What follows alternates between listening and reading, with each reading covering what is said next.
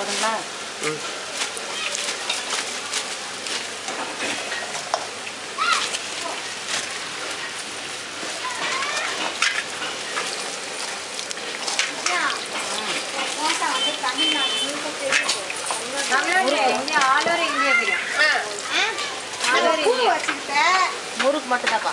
என்ன முறுக்கு?